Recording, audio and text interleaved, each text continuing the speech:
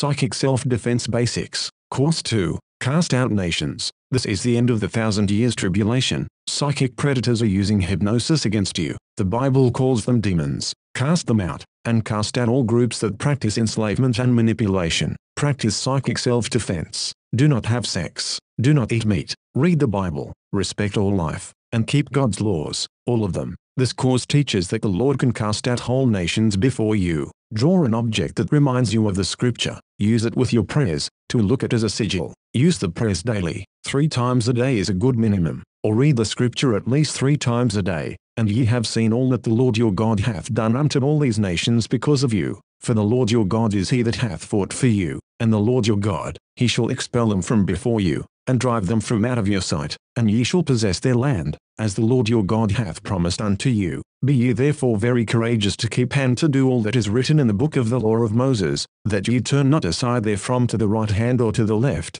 for I will cast out the nations before thee, and enlarge thy borders. Neither shall any man desire thy land, when thou shalt go up to appear before the Lord thy God thrice in the year. Prayer. Lord, the mighty hand of God in war shall cause all the ungodly slain to fall. I will be very courageous to keep and to do all that is written in your law given to Moses, and turn not aside therefrom to the right hand or to the left, that I come not among the rebellious nations, neither serve them, but I will cleave unto the Lord my God, as I have done unto this day, and you will drive out from before me great nations and mighty, but as for me, no man will stand against me. Amen. Use Hebrew to look at, if you have it. Hebrew reads from right to left, and the Lord your God, he shall thrust them out from before you, and drive them from out of your sight, and ye shall possess their land, as the Lord your God spoke unto you. Know that the Lord will undo wickedness. End of course.